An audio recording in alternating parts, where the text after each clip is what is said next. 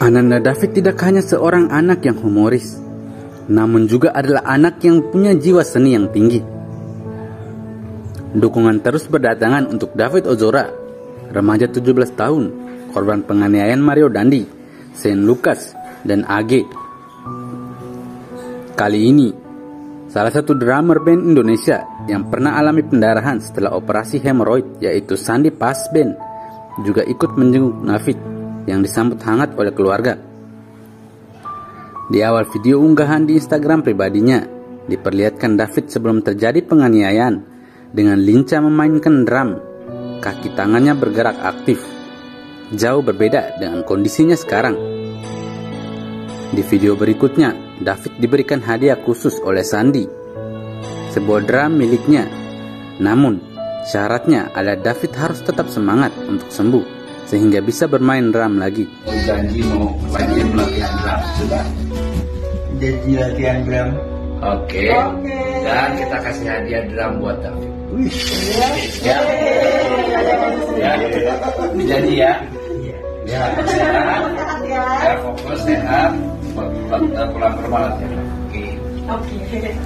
Bukti bahwa David punya jiwa seni adalah video ketika dua orang sedang duduk di samping kasur Ananda David lalu sambil memainkan gitar mereka untuk sekedar menghibur David yang sedang terbaring. Namun tak disangka, David malah ikut bernyanyi bersama-sama.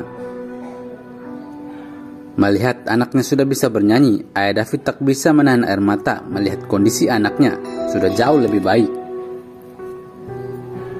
Mengerekamnya sambil terharu nahan air mata, tulis ayah Joe di instastory pribadinya Rabu 12 April 2023.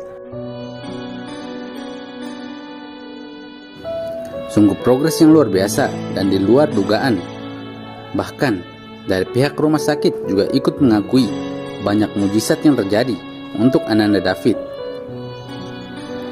Anak soleh, anak baik pasti akan sembuh dengan total tanpa ada yang kurang sedikit pun. Amin.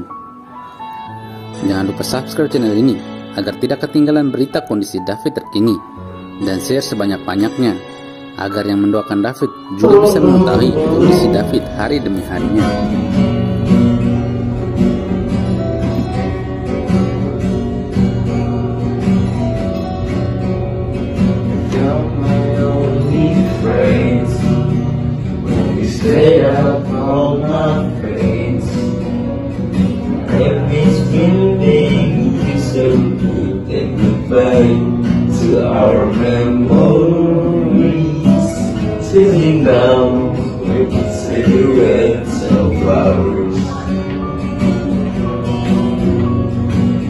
Take it easy for a little while. You know we did everything good so far. Our fragments of love and cries. We suddenly turn into dust and die. I swear you